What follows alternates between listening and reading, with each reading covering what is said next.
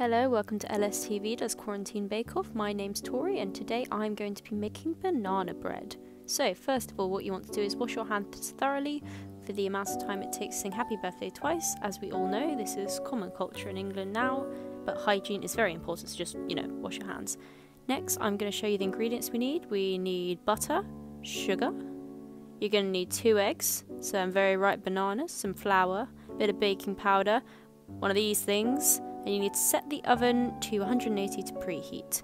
There's me measuring my ingredients, melting some butter it looks like that, mixing it up with some sugar, give it a sec, there's the sugar, some eggs, mix that up for you.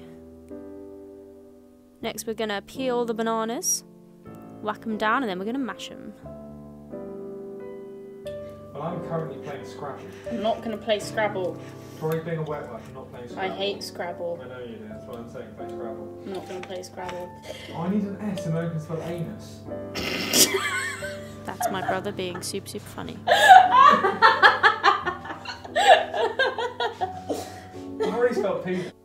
Well, now we're going to add the banana, mix it up, add some flour and baking powder, bit of vanilla. Mmm, how yummy. One of them things, in it goes.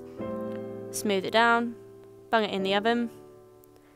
Set your timer for 40 minutes, and then if you need to check on it, you can. I made a mess. My dad is disappointed in me.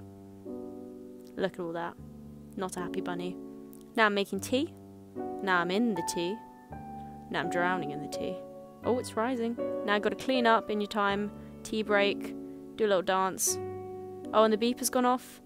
Out it comes. Wow, sexy. Not the most elegant thing I've ever done. But we are done. Give it a little slice. Oh, look at that glide. Oh, look at it go. I am so happy with myself, and it tastes good. Not for you. Success!